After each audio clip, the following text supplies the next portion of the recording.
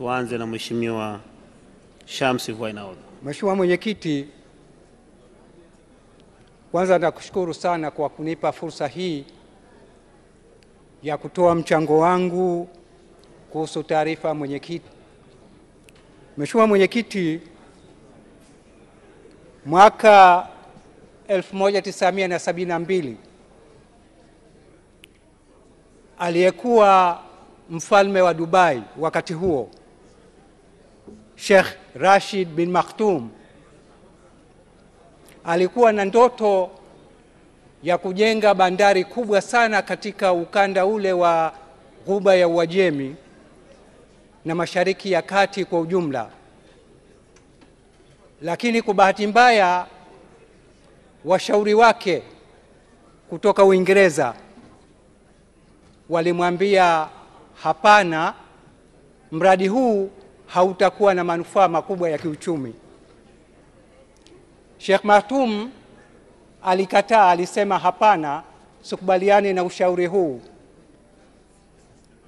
Hata kama mradi huu hautakuwa na maslahi ya kiuchumi, nitautekeleza kwa sababu ninaamini wajukuu na watoto wangu hawataweza kutekeleza mradi huu miaka mingi ijayo, kwa sababu gharama zake zitakuwa zimepanda sana.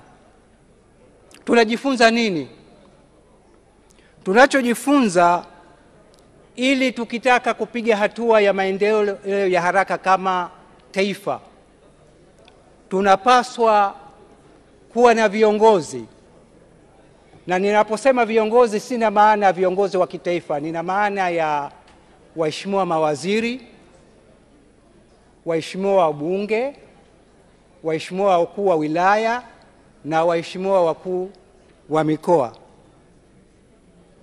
Tunahitaji kuwa na viongozi wa aina gani? Tunahitaji mambo mawili. Kwanza, tunahitaji viongozi wenye maono makubwa wanaozingatia maslahi ya kizazi kinachokuja kuliko kizazi cha sasa.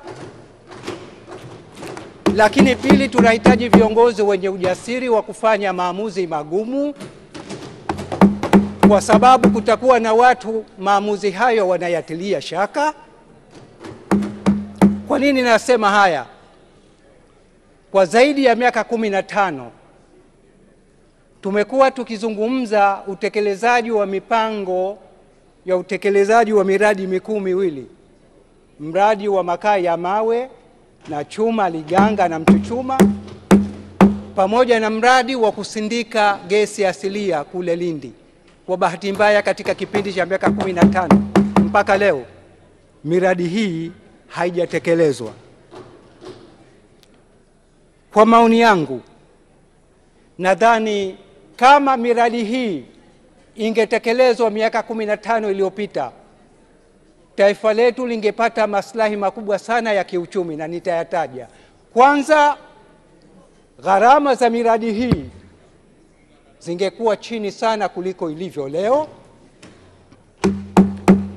Pili, tungetekeleza mradi wa gesi asilia miaka kumi na tano iliyopita, leo tungenufaika na soko kuu sana linalotokana na uhaba wa gesi asilia duniani unaotokana na vita vya Ukraine na Urusi.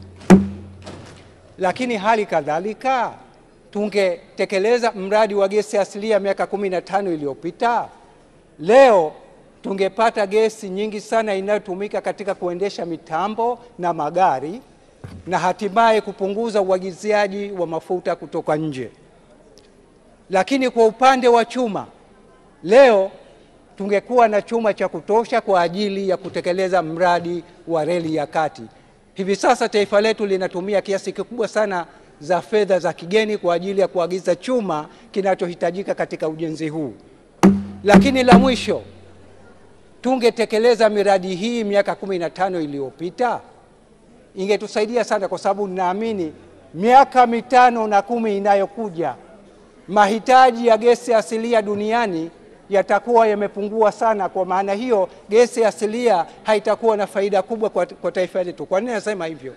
Hivi sasa mjasiriamali mkuu sana duniani anaitwa Elon Musk ameshaanza uzalishaji wa magari yanayotumia umeme, Jambo hilo likifanyika kwa kiwango kikubwa, gesi haitakuwa na matumizi makubwa.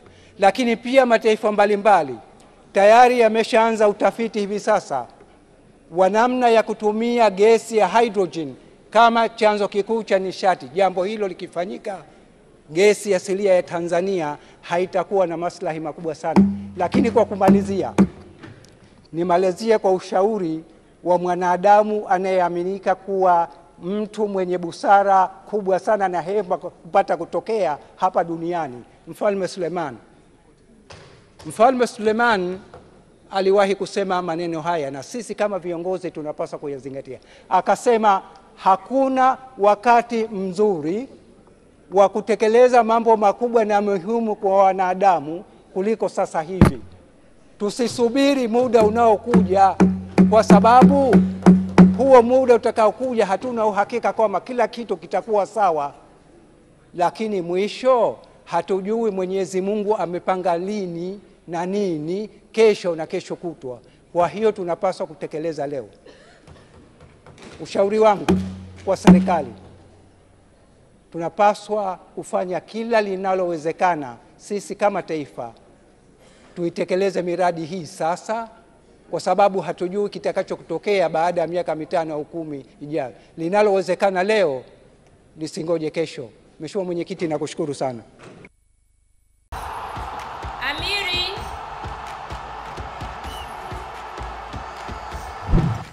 Hivyo bima ya gari unaenda saa ngapi kuinunua? Hebu nenda haraka iseni, nina safari zangu baadaye.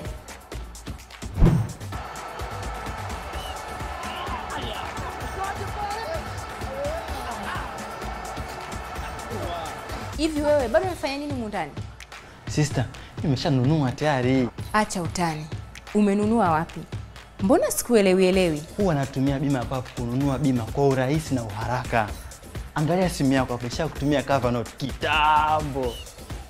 Tumia bima pap kwa kupiga nyota 150 nyota 51 alama ya reli au kwa WhatsApp tuma neno bima pap kwenda namba 0764166066 ujipatie bima.